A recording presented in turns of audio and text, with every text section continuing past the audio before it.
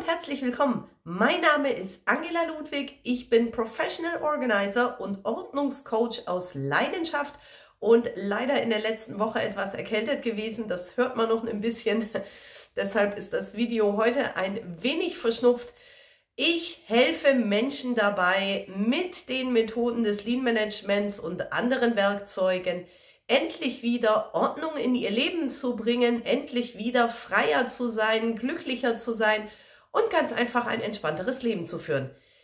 Wenn Sie mehr darüber wissen wollen, dann freue ich mich natürlich besonders über ein Abonnement meines Kanals.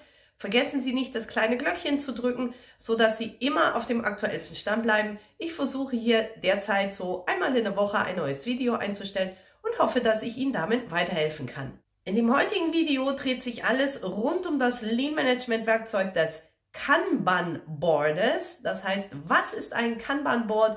Wie wird es normalerweise eingesetzt? Und wie hilft mir dieses Kanban Brett in meinem persönlichen Haushalt dafür, mich besser zu organisieren, ordentlicher zu leben und einfach ein bisschen entspannter zu sein? Also, legen wir los. Wie sieht das denn bei mir so aus? Nun, ich nehme Sie hier mal mit auf eine Reise bei uns direkt im Eingangsbereich. Also ich gehe noch mal ein wenig zurück. Hier kommt man äh, zur Haustür rein. Dann gibt es hier eine Kommode wie immer. Hier gibt es unser Kanban-Board. Und dieses Kanban-Board besteht aus mehreren Abschnitten. Und normalerweise, wenn Sie sowas in einer Firma haben oder in einem Unternehmen, dann ist so der ganz große Klassiker, dass sich dieses Kanban-Board unterscheidet in die drei Abschnitte, ähm, was ist zu tun, welche Aufgaben sind gerade in Arbeit und welche Aufgaben sind erledigt und fertig.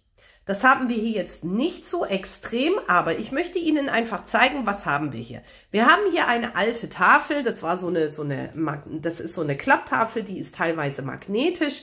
Teilweise in der Mitte habe ich sie einfach mit simpler Kreidefarbe übermalt. Das heißt, Sie haben hier verschiedene Fächer. Sie könnten die theoretisch auch zuklappen.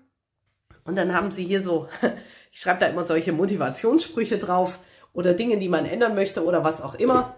Aber in der meisten Zeit des Tages ist diese Tafel tatsächlich aufgeklappt. Und wir haben hier zum Beispiel in der Übersicht als allererstes mal einen großen Jahresplaner. Das ist jetzt das Jahr 2023. Wir sind hier ganz oben am Jahresanfang und da sieht man so die wichtigsten, für mich natürlich, ich bin Mutter, ähm, da sind Schulferien drauf, da ist wichtig, ich habe hier zum Beispiel ähm, Mitte Juni habe ich eine große Dachkonferenz in München. Das sind so Termine, die sind auf jeden Fall wichtig. Ein Kalender ist immer gut. Und hier unten drunter, da sieht man dann verdeckt natürlich jetzt Online-Video, ähm, die Stundenpläne der Kinder, beziehungsweise sofern ich sie dann habe, oder auch wichtige Termine für die Kinder. Das heißt, wir wissen jetzt, ähm, die Weihnachtsferien waren und bei meinem Sohn beginnt die Intensivprobenphase für sein Theaterspiel. Solche Sachen, das heißt, die Kinder können auch jeden Tag kommen und schauen, was habe ich denn heute, wann habe ich Sport, habe ich Musik, was auch immer, wenn sie Schulranzen packen. Alles hier auf diesem einen Ding. Hier in der Mitte ist so das, das Herz dieses Kanban-Boards bei uns. Das heißt, da habe ich für zwei Wochen eine, einen, von Sonntag bis Sonntag, zwei Wochen, vorgegeben. Diese Linien, die lassen sich auch nicht wegradieren. Das ist mit so einem weißen Eddingstift äh, einfach aufgezeichnet. Das ist dauerhaft. Und der Rest wird mit Wachsstiften geschrieben. Und Sie sehen, wir haben hier verschiedene Abteilungen. Also das eine ist für mich, dann ich bin geschieden, da gab es mal einen Vater dazu.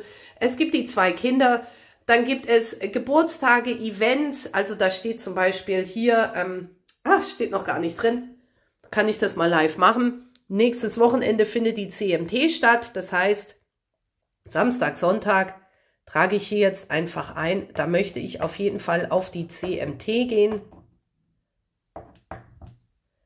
Und dann wissen meine Kinder auch schon immer, wenn sie kommen, ah, okay, am Wochenende findet die CMT statt. Dann haben wir hier einen Essensplan, den kann man ausfüllen, wenn man möchte. Da weiß ich so ungefähr, was ich kochen möchte. Und dann kann ich dementsprechend auch das Einkaufen planen, was hier auch notiert ist. Das heißt, gibt es besondere Hausarbeit, wie jetzt zum Beispiel das Thema Fensterputzen oder so. Wenn ich das vorhabe, dann schreibe ich mir hier einfach rein, dass ich am Freitag die Fenster putzen möchte. Hier auf der rechten Seite zeige ich jetzt nicht so im Detail. Da finden sich zum Beispiel die ganzen Klassenlisten der ganzen Schüler mit den Telefonnummern äh, der Klassenkameraden. Und ähm, was genauso wichtig ist oder sehr wichtig ist, das ist jetzt dieser Part noch zu tun. Das heißt, hier finden wir zum Beispiel von unserem Campingurlaub dann im Sommer, finden wir noch die Rechnung, die ich zu bezahlen habe. Bis drei Wochen vor der Ankunft ist diese zu tätigen. Und dann habe ich hier ein kleines Mäppchen, das war mal äh, alles Gute zum Geburtstag. Da sind so verschiedene, wenn wir hier ähm, zum Beispiel mal Gutscheine für die Buchkunst Holland, haben wir hier eine Freikarte gewonnen oder Kinogutscheine oder was auch immer man dort für Gutscheine, Einladungskarten, Events, also alles, was noch zu tun ist. Wenn ich jetzt zum Beispiel für einen Kindergeburtstag ein Geschenk kaufen muss, dann schreibe ich mir nicht irgendwo in eine To-Do-Liste, ich muss noch ein Geschenk kaufen. Nein, dann kommt hier an diese ähm, Seite dorthin, äh, kommt die Einladungskarte für den Geburtstag dran. Und da ich hier ja jeden Tag, dort hinten sind Badezimmer und Küche, jeden Tag daran vorbeilaufe, weiß ich natürlich auch, ah ja, das ist wie so der Never-Ending Reminder, ich muss noch diese Rechnung bezahlen und ich muss dieses Geschenk für die Einladung besorgen. Und sobald diese Termine oder Aufgaben eben erledigt sind, ich stehe hier so weit hinten, weil hier kommt sofort die Wand, kann man nicht so gut filmen. Ich kann es mal versuchen. So, und weil diese Termine dann sofort erledigt sind, ähm, brauche ich keine extra To-Do-Liste und das macht mir das Leben wieder einfacher. Was jetzt zu diesem Plan dazugehört, ist, dass sich, wenn Sie mehrere Familienmitglieder haben, dann lohnt es sich hier unten theoretisch, also sonntags am besten oder wann auch immer. Sie können das hier auch mit, Mitte, äh, in der Mitte der Woche, entschuldigen Sie, ich bin noch nicht so ganz erkältungstechnisch fit anscheinend, können Sie das in der Mitte der Woche, bietet es sich an, einen einmaligen, das sind so 15 Minuten, ich nenne das mal einen Familientermin zu planen, an dem Sie die wichtigsten Termine für die kommenden zwei Wochen besprechen.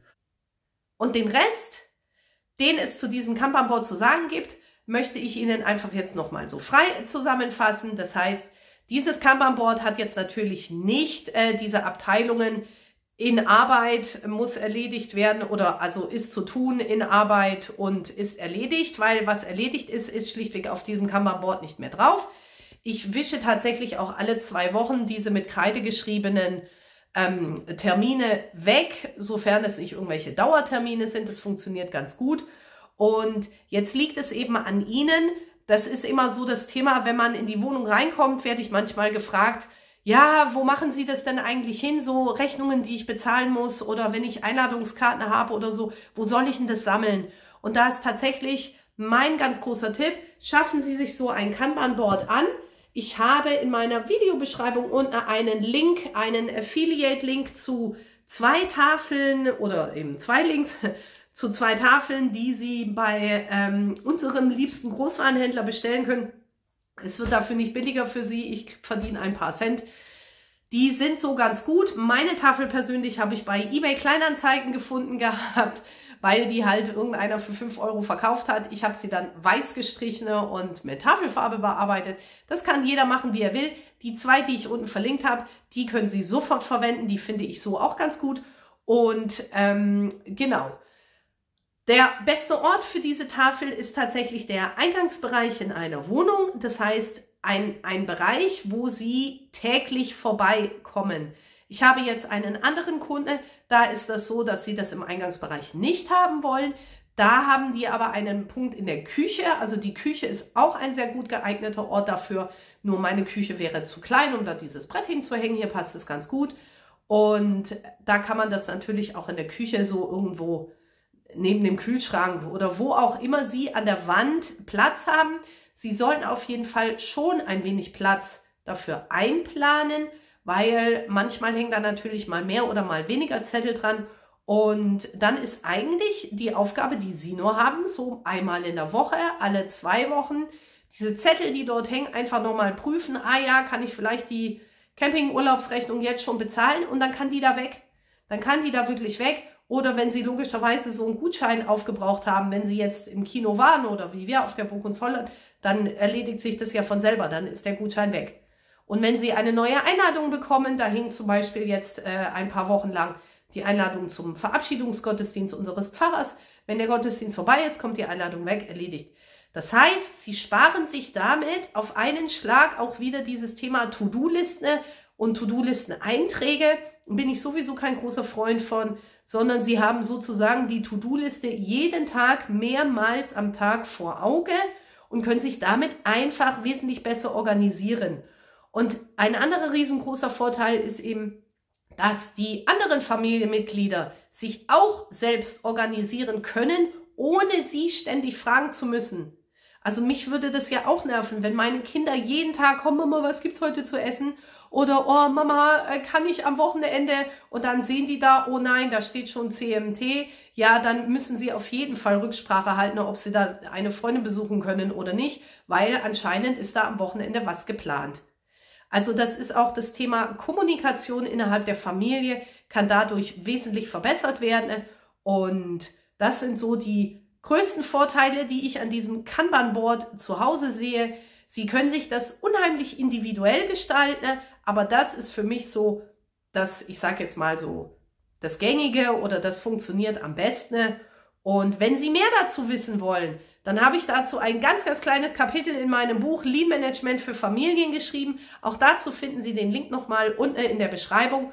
Und wenn Sie mehr zum Thema Lean Management im Haushalt wissen wollen oder einfach Fragen haben, Wünsche haben, dann freue ich mich sehr, wenn Sie das in die Kommentare schreiben, weil aktuell kann ich da natürlich drauf eingehen und das macht mir auch sehr viel Spaß. Wenn Sie da also besondere Wünsche haben oder Fragen haben, wie Sie sich irgendwie organisieren können oder was Ihr größtes Problem dort ist, ob es da eine Lösung aus diesem Bereich gibt, dann schreiben Sie mir das einfach unten in die Kommentare oder schicken Sie mir eine E-Mail an die info at frauordnung.de und damit bedanke ich mich fürs Zuhören. Ich hoffe, es hat Ihnen gefallen und wünsche Ihnen einen guten Tag und allen, denen es so ähnlich geht wie mir, eine gute Besserung. Hier war die Angela Ludwig, Ihr Professional Organizer und Ordnungscoach aus Leidenschaft. Wenn Sie noch mehr über das Thema Lean Management zu Hause wissen wollen, wie Ihnen die Methoden und die Werkzeuge des Lean Managements im Haushalt helfen können, dauerhaft für Ordnung zu sorgen, entspannter zu leben und sich einfach besser zu organisieren, dann lade ich Sie recht herzlich zu meinem Online-Live-Webinar ein – Dort werde ich Ihnen anderthalb Stunden lang Rede und Antwort stellen rund um das Thema, wie organisiere ich mich zu Hause, was kann ich besser tun, wie kann ich das in der Familie besser umsetzen und so weiter und so fort. Dieser Kurs findet zweimal im Monat statt, einmal vormittags, einmal abends. Und alle Informationen dazu erhalten Sie auf meiner Website unter www.frauordnung.de Dort erfahren Sie alles rund um, wie Sie den buchen können, welche Termine es gibt. Es sind alle Termine für das Jahr 2023 bereits online. Es gibt keine Mindestteilnehmerzahl, zumindest nicht bisher. Das heißt, wenn Sie weiteres Interesse daran haben, dann schauen Sie gerne auf meiner Webseite vorbei, schauen Sie sich den Kurs an und ich freue mich, Sie ganz persönlich kennenzulernen und Ihnen einfach helfen zu können, dass Sie sich ein bisschen besser organisieren, wie Sie das Thema Lean Management zu Hause umsetzen können, damit Sie einfach ein bisschen ordentlicher leben können. Herzliche Grüße!